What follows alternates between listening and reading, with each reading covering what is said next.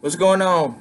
My friend Brandon from church just told me that it, there's a possibility that could have been Mr. Dehart uh, stopping by yesterday or the day before. I don't know. Uh, but I sure appreciate it. I'm here. If uh, if anyone needs to get in touch with me, um, hit me up on Facebook or I'll be at the house.